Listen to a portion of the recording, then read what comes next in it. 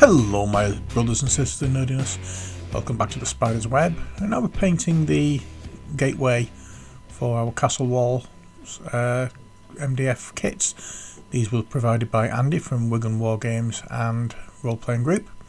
And we're starting off first of all with dark grey blue like we already have. It's safe to say that at the moment all the paints we're going to be using will be Vallejo um, game sorry, model uh, colours. Now what I've done to start this off is primed it all black and then gone over with like a zenithal highlight with grey just to pick out some details. Um, so all we're doing with this now dark grey blue is really what we did in the previous one. Picking out any shadowed areas, um, any overhang beneath any overhangs in corners, whatnot. And then we're going to be just making little patterns and designs on the uh, on the walls. No rhyme or reason to it, just squiggles here and there. You're not going to see these in the very end product, but there's something of interest that your eye doesn't sort of like immediately recognise, but you can you know there's something there. It's not just flat grey. So when we've uh, finished doing what we're doing with the that colour, we'll, we'll move on to a paler colour, which in this case will be light grey. Hmm, light grey. Are we're basically going to do nearly of a similar thing, just um, going along making little designs, uh, but instead of doing the shadow areas, we're going to be doing the more highlighted areas with this. It's not an exact highlights, but it's just going to add a little brightness to the model.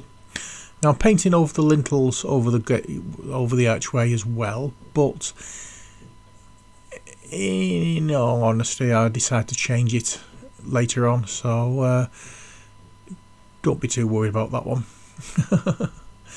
and as I say, it's just squiggle, squiggle, squiggle, and just hit anywhere where it's going to be exposed a little more to light. So yeah, that's all we're doing with that. Now we're going to pick out some of the stonework like we did in the previous video. We're going to be doing these roughly all the same.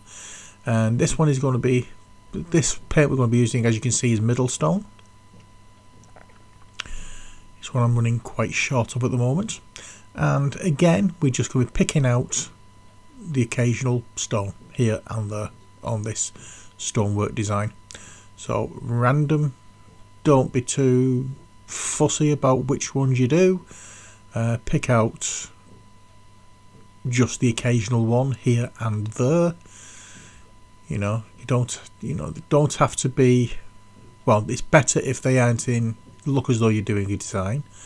Just doing little random ones wherever you see fit. Really. I'm not paying too much attention to the inside of the gateway because that's going to be really in shadow and you're not going to see much of it. But I'm going to add a few bits here and there. It will be darkened up later with a wash. So uh, again not too big a deal over this. Now I'm going to change colour once more and we're going into a darker colour that we used last time. But this time we're going to be doing mahogany. We're not picking out any uh, stonework at this moment. We're going to be just concentrating on the doors. Those big wooden doors. And as you can see, these do open up. And because they open up, we have to be careful we don't get any in the in any paint in the holes or on the uh, base of it or the top of it, which can actually make it stick. So being very careful. There's a little bit of a knob on the top of it. So I'm just sanding that off at the moment so I can so it's completely flat so it doesn't scrape off the paint from the inside. Um, I thought I'd done it already but obviously I hadn't. And as you can also see I'm not worried too much yet about overspray on the doors because um, we've not painted the inside yet which we're going to be doing later so that's not going to be an issue.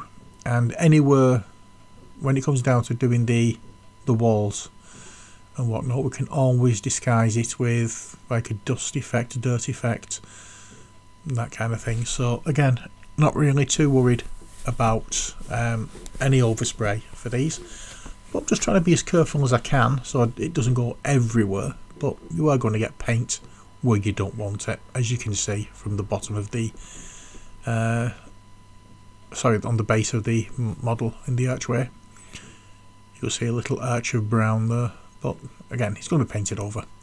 Now we're going to go into burnt umber. Now we're going to be picking out stones again.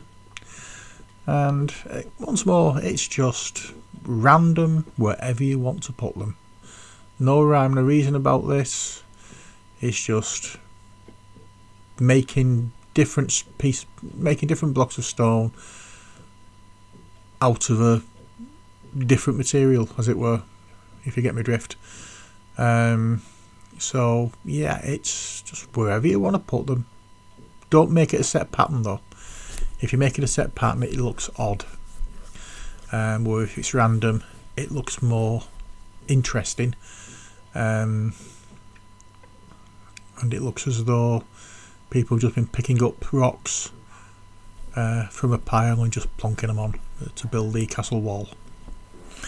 And you can also probably see that there is still some burr um, MDF in these side pieces.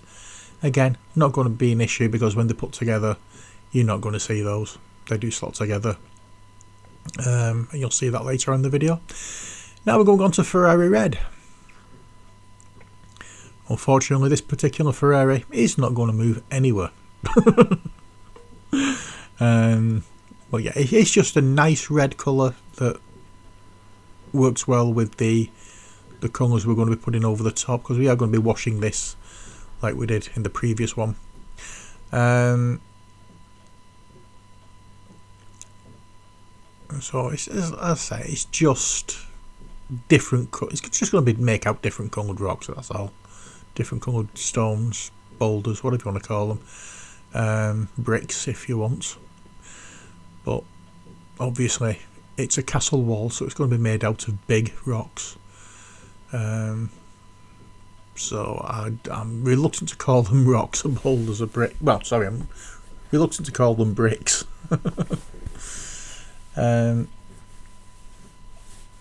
well, there you go. It's just different types of rocks making up the same uh, building, as it were. So, into the red, I've decided to add a little bit of blue, just to make a purpley colour. It's not bright purple. It's uh, more of a dark bluey grey purple, but it's there. And we're adding some more. And this is the one I decided to do the lintels with, as you can see. Um, it looked a little better, looked a little more imposing, shall we say, than just having a light lintel. It just stands out a lot more um, with the rest of the grey. So I thought, what the heck, give it a go. I will add a bit more here and there on the top as well. But I've realised my mistake because I didn't put any of that on the previous one. So i have had to lighten this one down quite a bit to match with the previous one I've done. But saying that, I've also um, made some adjustments to the previous one, which I'll show you later on. Another thing as well that I forgot to mention, on this one, in the front of the walls, you might just see a slight difference in colour. I glued sand to the base at the bottom of the walls. Now we're going to go over dark earth, and this is what reminded me because I realised what I was doing. And I'm just going over those sanded areas with this and all over the base. Um, and a little bit on the walls as well, just to show a little bit of wear and tear and to show that dust and dirt has been kicked up with storms and whatnot. And we're going over the entire base with this, which I didn't do on the previous one, which is one of the adjustments we're going to be making to the previous one in this video. So we're bringing that one in again so you can have another look. Um, that's that previous one is, is the staircase leading up to the top of the walls. And if I remember at the end, uh, if I remember rightly at the end of this video, because I did shoot it a couple of days ago, I uh, I actually showed you how these fit together as well at the end of the video. So uh, stay tuned for that if you're interested. Because you can see the jutty out bits and the gaps um, at the side of the video at the side of the wall sorry. So um, yeah I'll show you exactly how they fit together. So although you can't see because of my big head um, I am blasting the bottom of the doors blasting the bottom of the walls with this as well and making sure the edges are done. And here we go with bringing the previous one in and once again doing exactly the same as we've done on this one the base and the bottom of the walls. It didn't take long to do the other one because it was only a, it was a much smaller model and there wasn't as much space. So to fit in with the previous model we're going to be gluing some more um, clump foliage along the bottom of the wall. And we add something else as well with this. Once more you can't see because of my head and I do apologise for that at some point I'm going to realise that my head gets in the way too much and I'll attempt to remove it but yeah.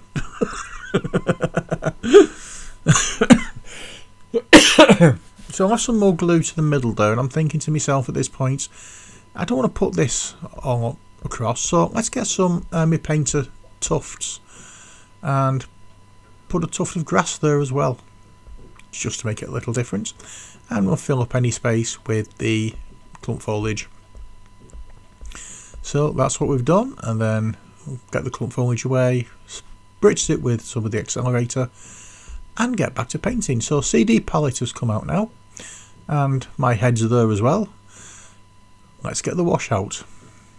This is Army Painter's strong tone wash. I am getting very low on this, which is why I'm using it on this just to get rid of it. Um, I'm going to be getting a big tin of this for doing these minis. Oh, for, well, for doing these kits. Um, and as you can see, when you put this dark tone on, it darkens down the bright colours on the wall quite well, quite and quite dramatically. Um, you don't see them as they're not as bright. They do stick out a little bit, but we hide that down um, in the next step, which we'll have to wait until the paint dries or the wash dries for the next step. Um, but say, I'm just going very fast forward with this one. I've increased the speed. Um, but once this is all applied, um, it's just a case of drying time. And that drying time will start round about ooh, now.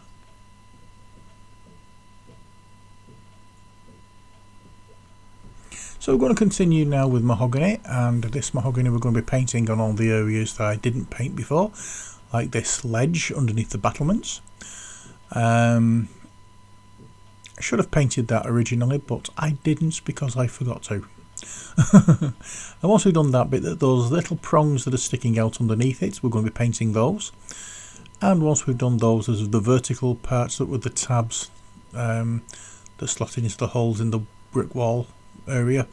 Uh, we're going to be doing those as well, just to make them stand out just a little bit more, give it a bit more detail on the front. So there we are, that is that. We're not touching any more now on the walls for the time being. What we're doing instead is bringing in some Monster Brown, I believe.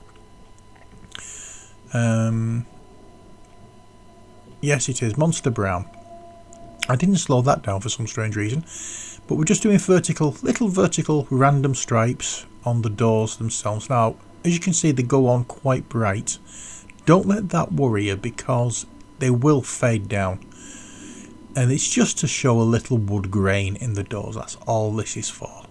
We're not being, we're not looking for coverage here. We're just looking for little marks that would imply a wood grain.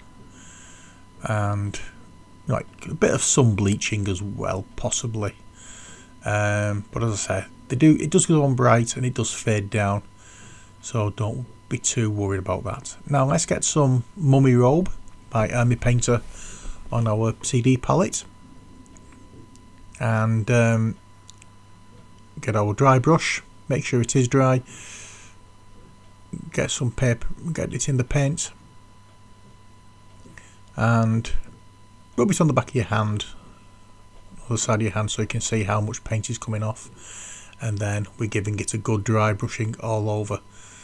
Um, now what I want to do really is try and get it so that it matches the previous building. But unfortunately um, at the moment now Andy has these buildings back so I'm going to have to guess in future. So hopefully I can do a decent job of matching up from memory. Just make it a little brighter on the walkways that's all I need to do. But yeah dry brush with this mummy robe all over the place. Um, and then in a second I'm going to bring in the previous building and show it how so it looks all together. Uh, but before that we're just going to highlight any wooden areas with some desert yellow. And obviously you can like the video press the notification bell so you don't miss any more videos from me. And if you'd like the videos I've done you can subscribe as well. You can always uh, help out financially with the videos by in two ways. The first choice is buy me a coffee and the second choice is become a patron. Um, but before we bring out the uh, other building to show how we do it. I just want to say thank you for watching this video. I hope you enjoyed it. And uh, we'll be slotting these together in a second to show you how they go together. Really nice design as well. But uh, as it stands for this video that's all we have time for. Hope you've enjoyed it. So as always stay safe and take care. God bless and bye for now